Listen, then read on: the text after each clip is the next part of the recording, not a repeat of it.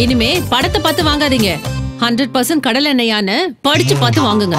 கடலை எண்ணெயில் number one Mister Gold hundred percent கடலை எண்ணெய். கதை திருட்டு வழக்கு தொடர்பா பிரம்மாண்ட இயக்குனர் அப்படிங்கிற பேர் எடுத்திருக்கக்கூடிய டைரக்டர் சங்கருக்கு எதிரா ஜாமீன்ல வெளிவர முடியாத அளவுக்கு பிடிவாரண்ட் பிறப்பிச்சு சென்னை எழும்பூர் நீதிமன்றம் இப்ப உத்தரவு பிறப்பிச்சிருக்காங்க. இதுக்கான விசாரணைய பிப்ரவரி பத்தொன்பதாம் தேதிக்கு தள்ளி வச்சிருக்காங்க.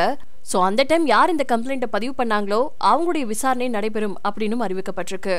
எழுத்தாளரான ஆரூர் தமிழ்நாடன் எழுதின ஜூகிபா அப்படிங்கிற கதையை திருடி சங்கர் எந்திரன் அப்படிங்கிற படத்தை எடுத்ததா வழக்கு தொடரப்பட்டுச்சு. எழுத்தாளரான ஆரூர் தமிழ்நாடன் ஆயிரத்தி தொள்ளாயிரத்தி தொண்ணூத்தி ஆறாவது வருஷம் இனிய உதயம் அப்படிங்கிற ஒரு இதழ்ல ஜூகிபா அப்படிங்கிற கதையை எழுதியிருக்காரு. அதே கதைய திக் திக் தீபிகா அப்படிங்கிற பேர்ல நாவலாவும் எழுதி டூ தௌசண்ட் செவன்ல ரிலீஸ் பண்ணிருக்காரு இந்த கதையை இயக்குனர் சங்கர் சன் பிக்சர்ஸ் தயாரிப்புல ரஜினிகாந்த் ஐஸ்வர்யா ராய் இவங்களுடைய நடிப்புல எந்திரன் அப்படிங்கிற பேர்ல திரைப்படமா எடுத்ததா சொல்லி அவர் மேல ஆரூர் தமிழ்நாடன் குற்றம் சாட்டினாரு. இது தொடர்பா சங்கர் மேல நடவடிக்கை எடுத்தே தீரணும் அப்படின்னு சொல்லி புகார் கொடுத்தப்போ காவல்துறை அதை ஏற்கவே இல்லையா? சென்னை எழும்பூர் நீதிமன்றத்துல இயக்குனர் சங்கருக்கு எதிராக குற்ற வழக்க ஆரூர் தமிழ்நாடன் தாக்கல் செஞ்சிருந்தாரு.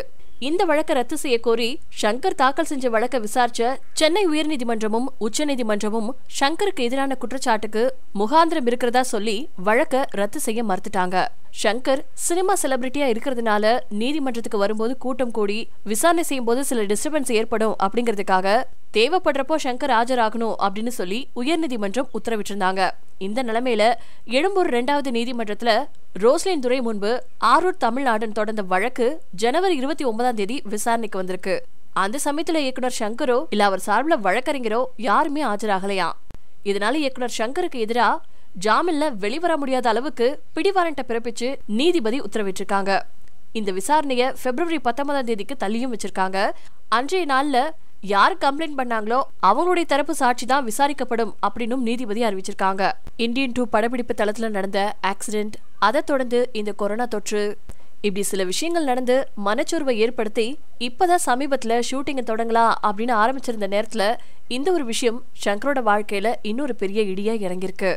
இனிமே படத்தை பார்த்து வாங்காதீங்க. ஹண்ட்ரட் பர்சன்ட் கடல் எண்ணெயான்னு படிச்சு பார்த்து வாங்குங்க. கடலை எண்ணெயில் number one Mister Gold hundred percent கடலை எண்ணெய்.